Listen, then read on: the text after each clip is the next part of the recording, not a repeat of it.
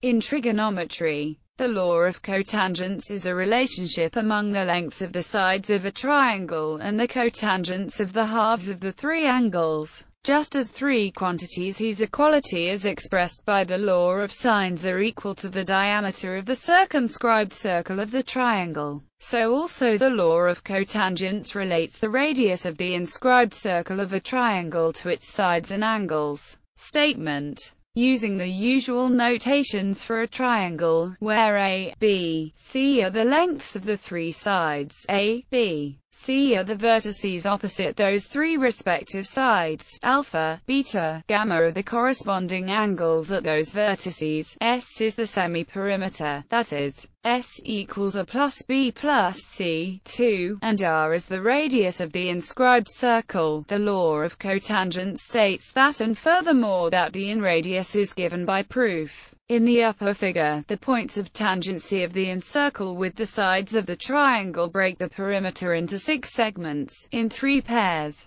In each pair the segments are of equal length. For example, the two segments adjacent to vertex A are equal. If we pick one segment from each pair, their sum will be the semi-perimeter S.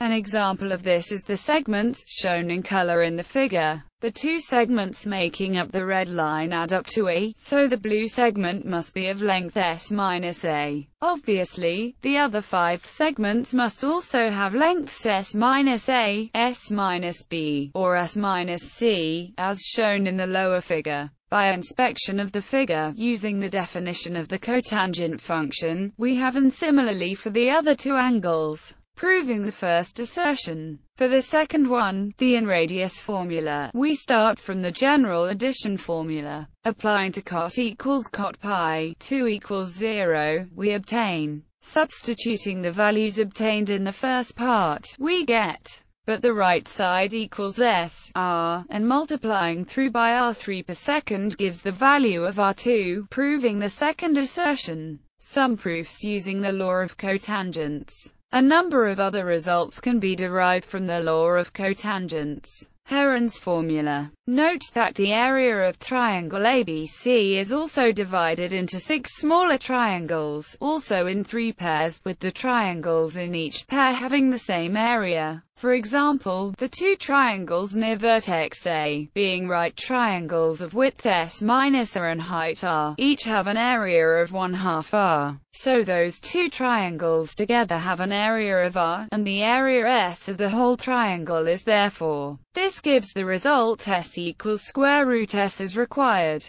First Mollweide's formula. From the addition formula and the law of cotangents we have. This gives the result as required. Second Mollweide's formula. From the addition formula and the law of cotangents we have. Here, an extra step is required to transform a product into a sum, according to the sum-product formula. This gives the result as required. The law of tangents can also be derived from this.